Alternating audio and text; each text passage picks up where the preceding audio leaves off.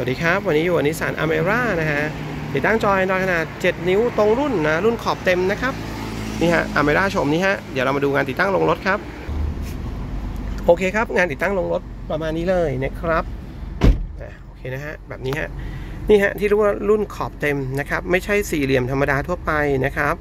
อันนี้เป็นรุ่นขอบเต็มออกแบบเฉพาะนิสสันเลยนะครับ โอเค ฝากไว้ด้วยนะครับ ตัวนี้ 7 นิ้วขอบเต็ม หน้าตาเป็นแบบนี้จาก M Max นะครับ RAM 2 ROM 16 เวอร์ชัน10 นะฮะ หน้าจอแอปพลิเคชันตัวนี้สามารถที่จะเชื่อมต่อกล้องบันทึกหน้าระบบ Android พร้อมกับกล้องถอย Android ได้ด้วยนะครับสำหรับใครที่กำลังมองหานะครับตัวนี้สามารถเชื่อมต่อกล้องได้ในกรณีถ้าเราใส่กล้องนะฮะ โอเคนะฮะ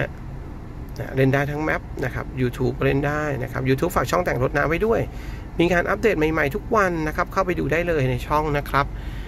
คนไหนที่ยังไม่กด Subscribe กด Subscribe ไว้นะด้วยสามารถกดติดตามนะครับงานอัปเดตในช่องได้ทุกวันนะครับ ขอบคุณ FC ขอบคุณพี่น้องทุกท่านที่ติดตามรับชมนะครับ ทุกคลิปด้วยดีเสมอมาครับ ผมเชื่อมต่อบลูทูธได้ด้วยนะฮะโอ้โหฟังก์ชันเพียบนะฮะราคาประหยัดสบายๆฮะเปิดเพลงที่เก็บไว้ใน